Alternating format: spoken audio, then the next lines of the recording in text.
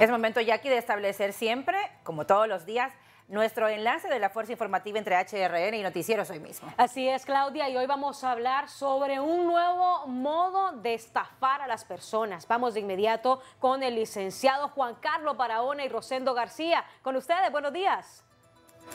Buenos días, Claudia. Buenos días, Jackie. Ya se nos fue de vacaciones, Aldo. Aldo, ah, Aldo está por las playas de Hawái y dice que solo va a ser eh, un desplazamiento esta Semana Santa para estar el miércoles en San Pedro Sula. Se fue de vacaciones muy temprano como los diputados. y como decía, eh, decían mis abuelos, eh, las altas perperas del gobierno, que me imagino también ya están de vacaciones. Pero bueno, merecido en todo, en todo caso. Bueno, en las últimas semanas, en los últimos meses, ha tomado, ha tomado fuerza y forma una nueva manera, una nueva manera de, eh, una nueva modalidad de fraude y de estafa que en el sistema financiero conocen como las cuentas mulas. Una nueva modalidad de fraude y estafa en Honduras sobre lo cual debemos alertar a la población, porque independientemente de lo que la gente tenga en el sistema bancario, de las cuentas que tengan en el sistema bancario o de lo poco o regular o mucho que puedan tener en el sistema bancario, pues hoy todo mundo tiene los que son de una baja condición económica, los que no tienen ingresos, pues reciben a través de remesas dinero en sus cuentas.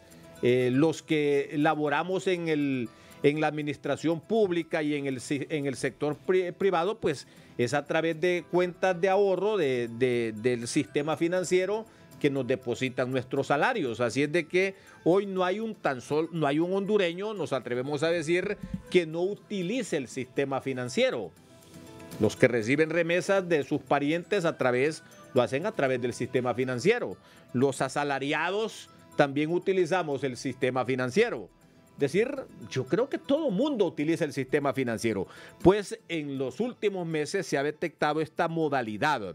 De 6 a 10 denuncias diarias por estafa bancaria se interponen en las oficinas de la Dirección Policial de Investigaciones. Esto solo en la zona noroccidental del país. Según las autoridades, las denuncias en las últimas semanas, en los últimos meses, interpuestas por este tipo de estafas oscilan entre los 15 mil y hasta los 190 mil empiras de tres diferentes instituciones bancarias. Pero hay casos obviamente excepcionales de personas a quienes les han sacado hasta un millón de lempiras.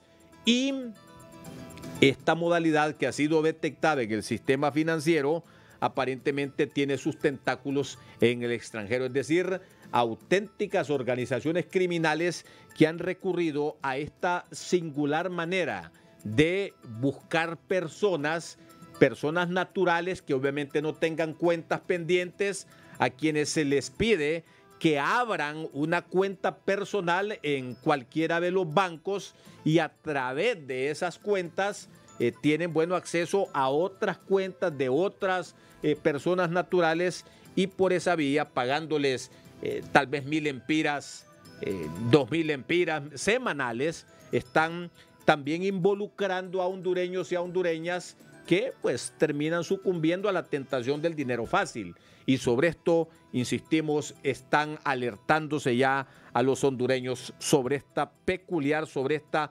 modalidad de fraude y estafa que es, ha sido detectada y denunciada en las últimas semanas. Doctor Nelson Ávila, ¿cómo detener esta red que está traficando a nivel del sistema financiero en nuestro país? Buenos días.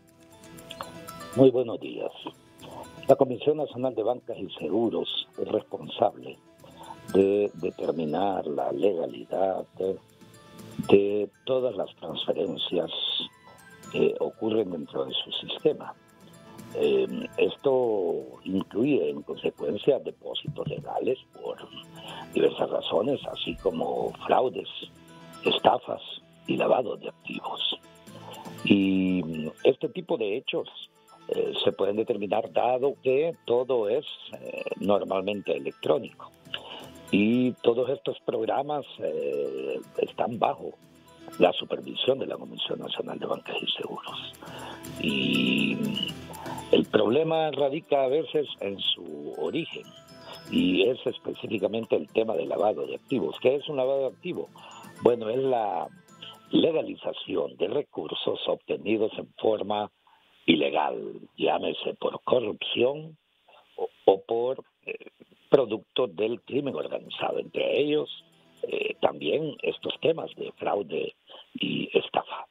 Eh, todavía estamos esperando un resultado de todas esas investigaciones que tiene que hacer precisamente la Comisión Nacional de Banca y Seguros. Estamos en una sociedad en la cual eh, se ha planteado muchísimas veces la magnitud de la corrupción en Honduras y nunca hemos escuchado ningún informe que provenga de la Comisión Nacional de Bancas, que puede determinar todo ese tipo de transferencias, reitero, a partir del sistema financiero. Y con respecto a estas estafas, la recurrencia que se puede observar y el lugar en donde se depositan eh, perfectamente es eh, rastreable. Para ello tienen eh, especialistas en esta forma, especialistas no solamente de, de auditoría, sino que precisamente capacitados en el seguimiento de operaciones fraudulentas.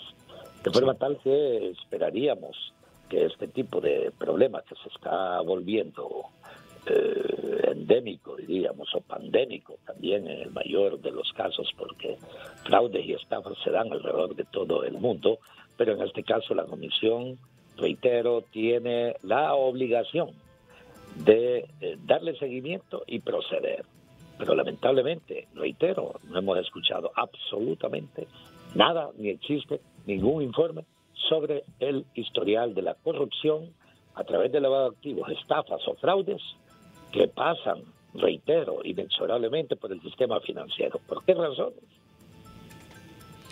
En los últimos meses en el, país, en el país se han detectado las denominadas cuentas mulas, que es un tipo de fraude que busca el blanqueo de capitales a través de alguien que se encarga de transferir el dinero sustraído por medio de la figura conocida como phishing, el que consiste en un método de estafa con el que se obtienen datos bancarios y confidenciales. En Honduras esta nueva modalidad delictiva está siendo usada por estructuras criminales empleando las redes sociales y WhatsApp para sacar provecho de personas incautas. Los ciberdelincuentes captan eh, mulas bancarias de varias maneras, por ejemplo, ofreciendo una falsa propuesta de trabajo, le buscan el empleo sin que usted haya solicitado, le ofrecen dinero a cambio de que les rente su propia cuenta de banco para cometer estos fraudes. Y así son varias las evidencias.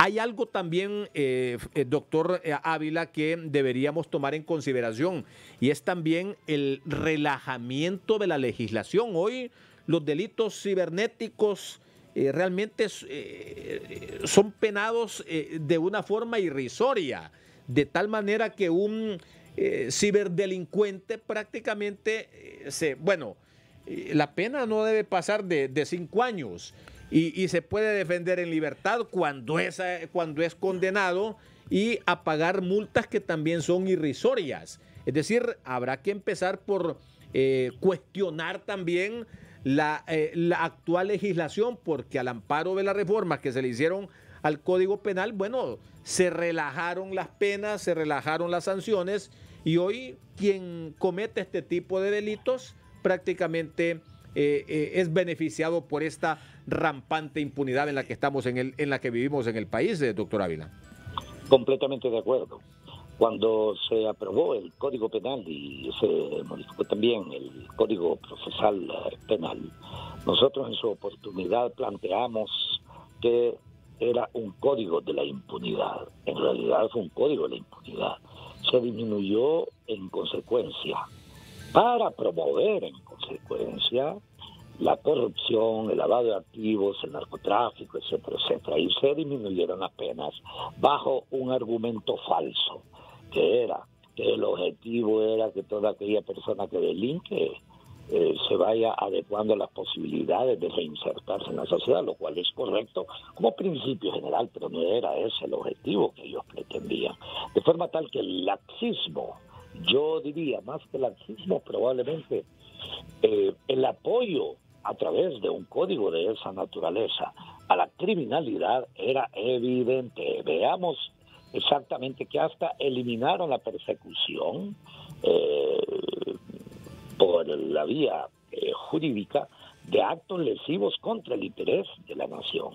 Eh, y es precisamente todo este tipo de hechos que hacen que se reproduzcan actitudes como estas, de fraudes, estafas, el mismo lavado de activos, etcétera, etcétera, porque simple y sencillamente el código vigente eh, los trata simple y sencillamente como si fuesen eh, cualquier acto irregular, eh, de forma tal que se impone que trabajen profundamente los diputados para poder hacer las reformas que se requieran en nuestro Código Penal y en nuestro Código Procesal Penal. Sí. Muy bien, gracias doctor. La Asociación Hondureña de Instituciones Bancarias ha compartido desde hace unos días una serie de recomendaciones, de consejos. Ojo a esto, escribir la dirección web oficial del banco. Por ejemplo, buscarla a través de Google. Hacerlo directamente. Bloquear números sospechosos que piden información personal borrar correos que pidan datos personales o no abrir esos correos que pidan datos personales.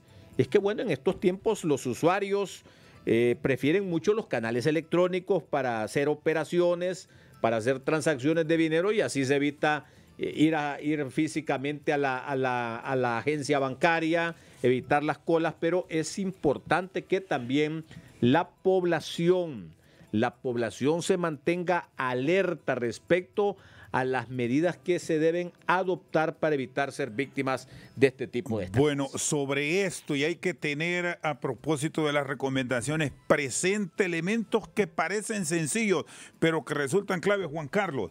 Me decía una amiga profesional del derecho con las tarjetas de crédito, entregándosela a uno de sus hijos, tenga cuidado al momento del uso en una compra en línea con el código de seguridad. Ahí están las claves y si lo usa una vez inmediatamente bórrelo o no lo mantenga en estos aparatos porque son vulnerables y perfectamente alguien al tener acceso a ese código de seguridad de su tarjeta viene aquello de las compras que usted en su momento dice yo no he gastado eso, ¿cómo es posible que ahora me estén eh, sacando dinero y por ahí también ve el fraude? Y lo otro, estas billeteras electrónicas hay que regularlas. Ahí es donde vamos a ver cómo Conatel actúa, porque a través de un número telefónico puede hacer cualquier tipo de transacción y por ahí ve lavado. La fuerza informativa entre HRN y hoy mismo TSI continúa. Claudia, ya aquí con ustedes a las 7 con 43 minutos. Interesante tema, muchísimas gracias a el licenciado Juan Carlos Barahona y Rosendo García. Ahora no hay quien no utilice el teléfono celular para hacer sus transacciones, hay que ponerle mucho ojo. ¿Y le ha llegado algún correo de estos? Piense que gracias a Dios no, pero sí conozco a personas que les ha pasado. A mí fíjese que me llegan, yo no sé, cada 15 días más o menos correos electrónicos pidiéndome que verifique la clave de algún banco. y a veces son de bancos que ni tan siquiera yo tengo cuentas. Qué terrible. Una cosa terrible. Así que hay que poner mucho cuidado y a las autoridades hay que hacer su trabajo también. Este fue el enlace de la Fuerza Informativa entre HRN y Noticieros hoy mismo.